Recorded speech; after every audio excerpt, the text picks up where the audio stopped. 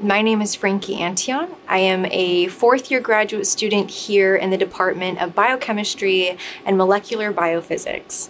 I work in the Center for Phage Technology and I currently study very small single stranded RNA phages. I have my undergraduate degree in chemistry and I decided to pursue a PhD in biochemistry because while I love chemistry, I think that biochemistry is fundamental and it is the basis for cellular processes. So it doesn't just have chemistry, it also has biology, physiology, physics.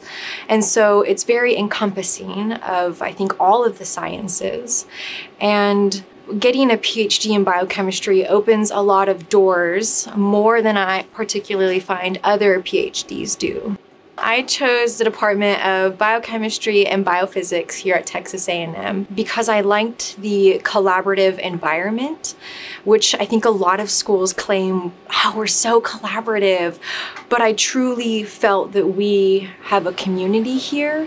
One thing that's really unique to our department that you won't see in many other biochemistry departments is that a lot of them all work towards a single goal where each lab has little questions that they ask to reach the same goal. Whereas in our department, no two labs do the same work. So we are extremely diverse in our research profiles.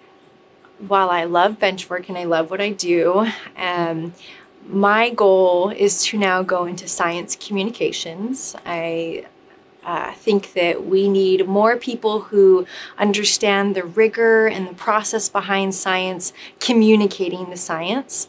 And so now I'm preparing to defend my thesis and applying for jobs at NASA and the Center for Disease Control and other government agencies to go hopefully be a communicator of science for them, which is really unique because uh, you will find that lots of other places um, their training is specific for academia or industry, whereas I feel like I've been trained to be a problem solver as well, so that I have these opportunities to branch outside those two traditional pathways.